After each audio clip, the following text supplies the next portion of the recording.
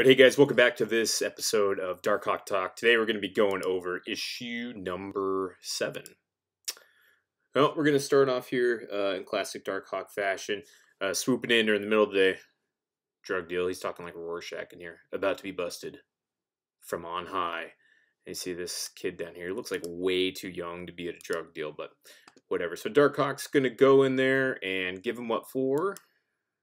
All right, so Dark Hawk swoops in with a shram, a scoom, and an ugh, and uh, busts up the drug deal. Hear this, slugs. I hereby declare Midtown High School and vicinity a drug-free zone with a crunch there on the gun. So drug dealers get the message. His cable's super long there. I don't remember it being that long, but whatever.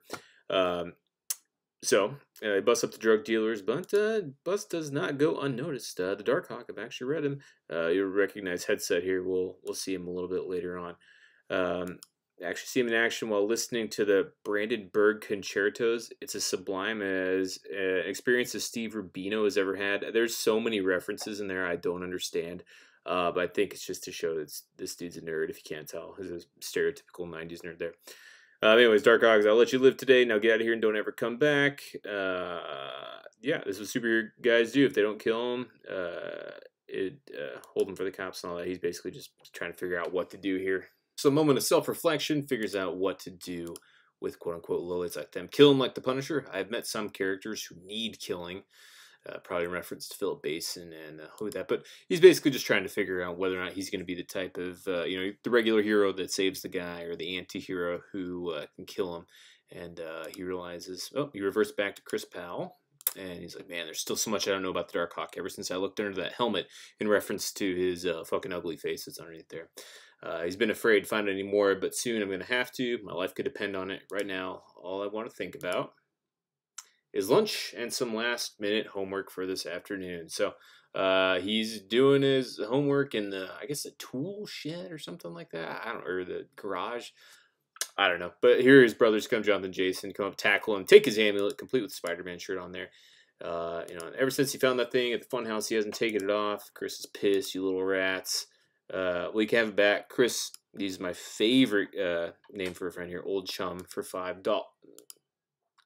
And then Chris barrels through and just crashes into a bar stool and uh, takes back and uh, start uh, start insulting him. Um, anyways, Jason, and Jonathan, they're worried about the mom. She's been weird. I think there's anything we can do for her, like maybe buy her some flowers, cook her breakfast. Uh, and Jace or uh, Jonathan in here with the real talk. You idiot! She's undergone a severe emotional trauma, and a hot meal won't have me curative. Anyways, it's funny. All right, so they call him back up to his. Uh, oh, he, I guess he was down in the basement. That explains that. All right, so they go back up. Their mom calls him back upstairs. He's gonna straighten up down there, and uh, you know he knocks over a piece of paneling during the scuffle, and he finds his dad's journal. Bum bum bum. So dated a few weeks before he just disappeared. 3 a.m. in pursuit of two perps who knocked over an all-night gas station on the Lower East Side. Sorry, allegedly knocked over. Me and Lori Ratliff follow them down Stanton Street. The idiots cut through an alleyway and start heading back to the streets, but I'm on his tail. But or I'm on his tail, but good. Almost had him when they hit an old lady doing some very early morning shopping. I shouldn't be laughing at that, but that's just the other funny image right there. It just hurt to see it. Mike, forget those slime balls. You got to help this woman. Wrong, Larry. We've got to go after him. Avenge her. And make sure they don't hurt anybody else ever again. I wanted their blood bad. Are you seeing parallels to the earlier part of the issue here? No, the entry ends here. What did he do? Stay and help her go after the creeps? Uh, I've got to know. It could mean everything to Dark. And then uh, gets distracted by his mom, who's uh, just landing on him about everything that they lost and everything.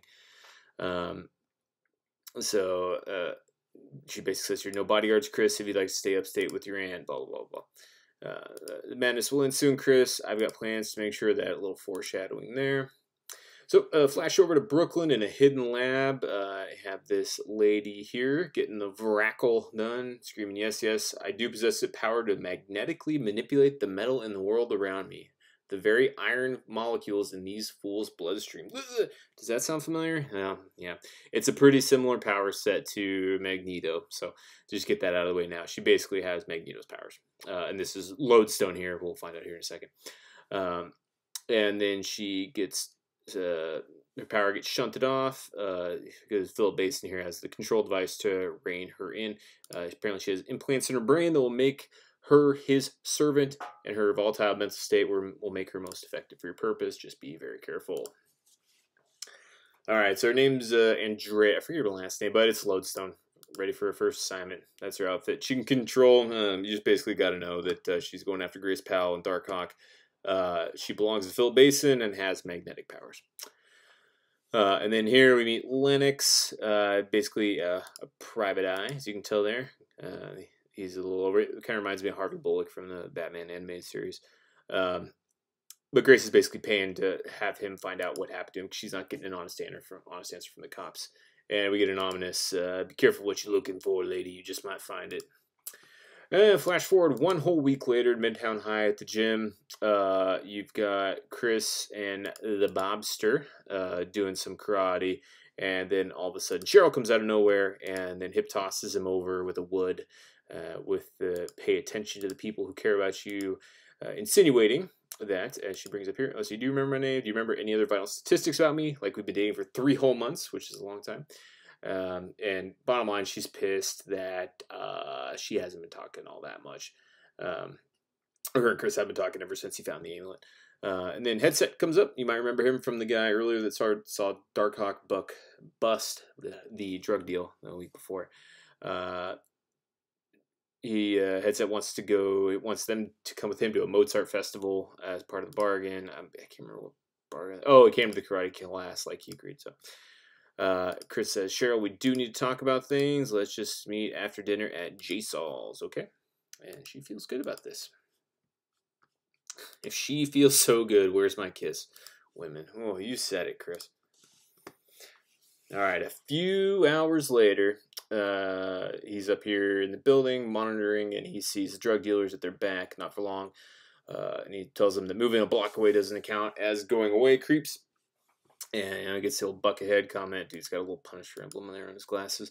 Uh, but this time they brought the heavy artillery to take Darkhawk down. So ensue the fight here. The bazooka goes off, but his shield held up, as he states right there. And then Darkhawk takes off the uh, light pole and whoopang.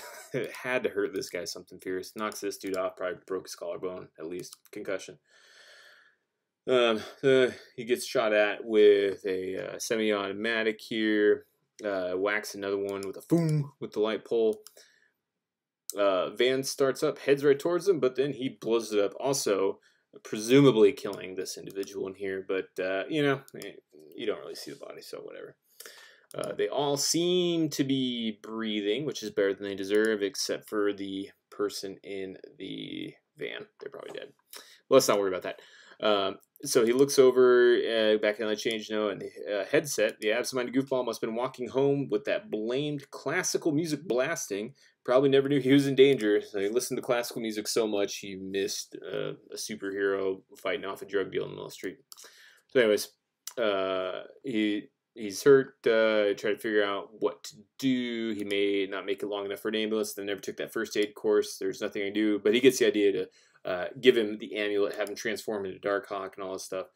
Um, so he changes, tries to get uh, get him to change over to Darkhawk, but it's not working. It's not working. Why wouldn't he change? All I have to do is concentrate, and of course he's unconscious. Can't wish for that change. Um, and so this uh, flashes back to the thoughts he was having earlier in the uh, issue about uh, how he needs to figure out all the Darkhawk's powers. It's like, okay, get a grip, got to come up with an alternate, and we get a you. Lodestone, there she is, in all of her glory. Produce the Darkhawk or die in his place. Who is she? Pain unbearable lifting him up by his magnets there. Uh, you can't really see the amulet. Uh, uh, it says, says headset still the amulet that uh, I guess is underneath his hand there. We're both going to die. And that's where we leave off for this issue. Darkhawk number seven.